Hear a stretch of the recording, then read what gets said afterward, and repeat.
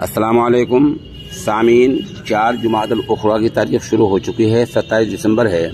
Social India news में आपका खैर मकदम है। ख़बर का उनवान है, अंग्रेज़ी सीखने का मरकज़। ये मरकज़ बहुत ही अहम मरकज़ है और ये बड़ा सेंटर है। इसकी चंद खसूसियात हैं, वो आपको पहले बता देता हूँ। किसी भी ज़ुबान को सीखने के लिए हमें चंद चीज़ें देखने की होती हैं। नंबर एक, ज़ुबान को सिखाने वाला कौन है? उसका खुद का ख़ानदानी पस मंज़र क्या है? क्या उसकी तहजीब है? क्या तमदन है? क्या सकाफ़त है? वो आपको क्या सिखाएगा?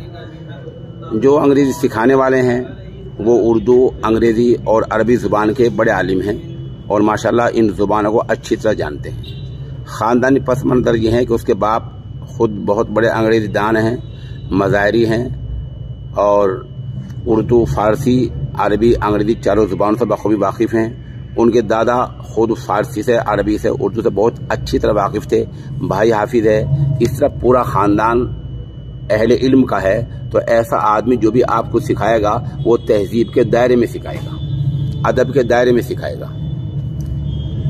इस सेंटर से पहले भी काफ़ी तादाद में हुफाज, उलमा फ़ायदा उठा चुके हैं और फ़ायदा उठा रहे हैं। आपको अंग्रेज़ ज़ुबान के ग्रामर या नहाव सर्फ ये सिखाएगा तो आपकी तहजीब में, आपकी ज़ुबान के दायरे में सिखाएगा।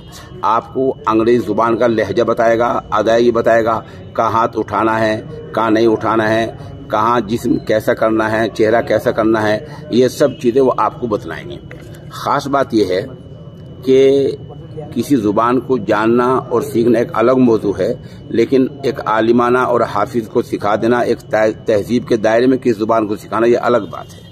हम इस पर आपको नंबर भी दे रहे हैं। आप इस पर रबता कर लें।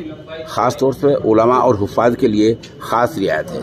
इसमें भी कोई अगर गरीब घर का है तो नंबर पर रबता कर सकता है। उनके हम नंबर दे रहे हैं तो उसको और भी छूट दी दी जा सकती है।